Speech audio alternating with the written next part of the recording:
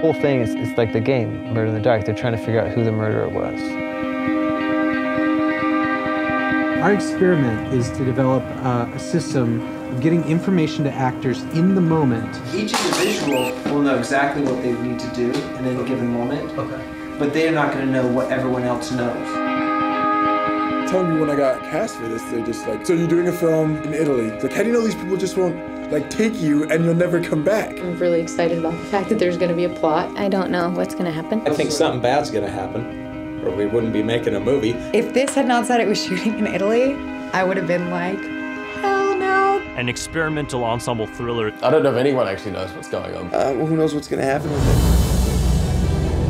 This is insane. I mean, this is a medieval city. I've seen some really amazing places, but I have never seen anything like this. We're making a, a hard little hike to try to figure out all the things that can possibly go wrong. We got to convince the mayor of the town that this is a good idea to let us film there. This is kind of important because this entire trip here to Italy might have been a massive waste of time.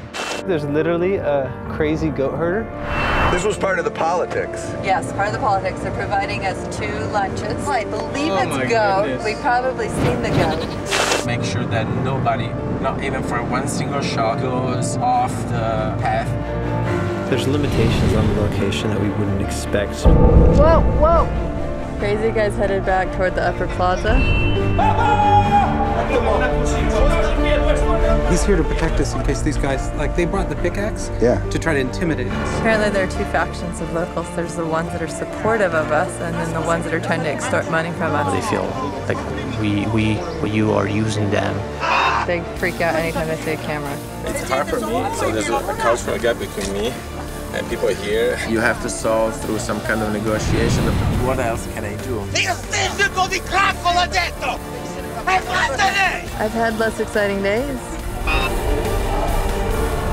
The wind pushed your craft up against the tower up above and came down. Look at this. Mango. The camera is done.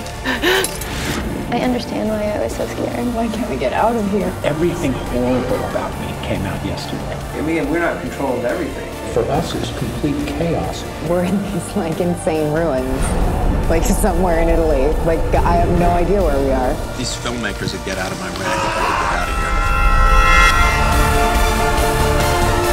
Something is wrong with